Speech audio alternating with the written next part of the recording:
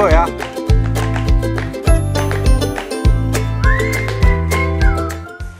Živjo in dobrodošli v našem novem vlogu.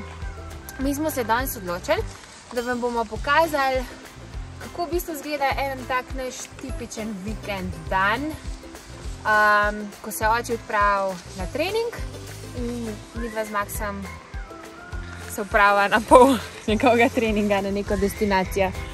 Um, mogoče ideja za koga, ki ima očija, ki ima mrovljev ris, kako naš. A ne? Oči. Odličen predlog. Tako. Uh, pa kar pejmo, da pokažemo čim prej, kam gremo. Čau, čau! Čau, čau, čau. Max, kje je oči? V gozdu, ko pa dela? Laufa. Kaj bova pa mi dva delala, ko srečava očja? Bravo, bravo, ja.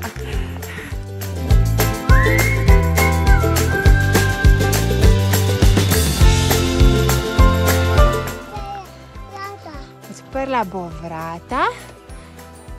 Evo, planina Korošica. Kako si? V redu, okej. Max,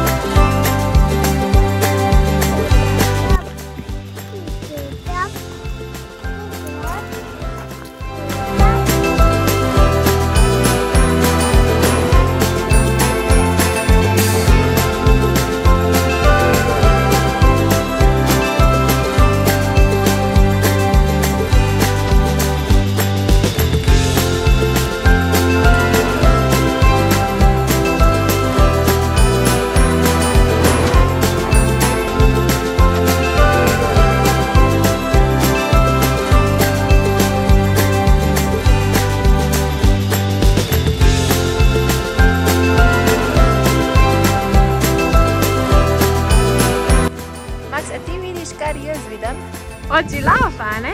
Kje pa je bil? Je bil v hribih?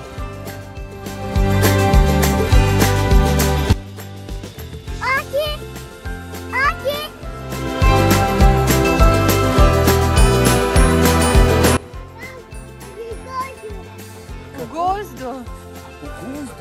Izvoli, oči. O, zdaj pa zasluženo, zdaj malo drž, Max.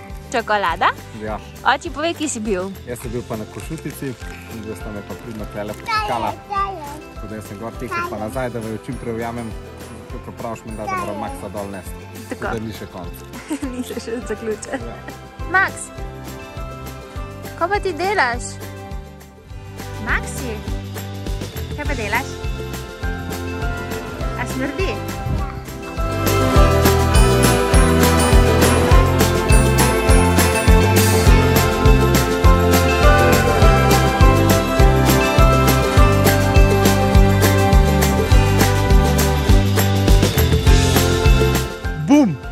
Kaj pa je bilo, Max?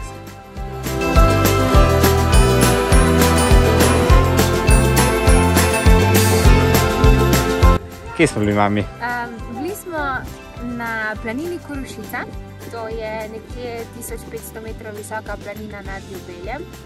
Štartali smo pod uh, koncentracijskim taboriščem uh, in potem nam je znesel nekje 600 metrov spona do planine. Um, smo pa naredili to našo klasiko, oči je šel še naprej na vrh Košutice. Košutice. Uh, Kuk si naredil še tam uh, višinski? Je pa še ne 400 metrov spona, 500. Tako, tako da smo se v bistvu glih časovno se poklopili, da smo istočasno prišli na planino. Na planini so kravice, uh, imajo tudi kavo, dobiš gance, jogurt, štrudel tudi dobiš. Uh, tako da, evo, sezona hribov je absolutno odprta. Kaj pa ti delaš, Max?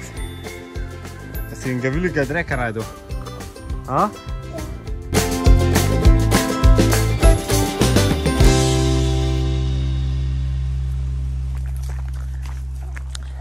Toliko o tem, da bo oči dol nesel Maxa.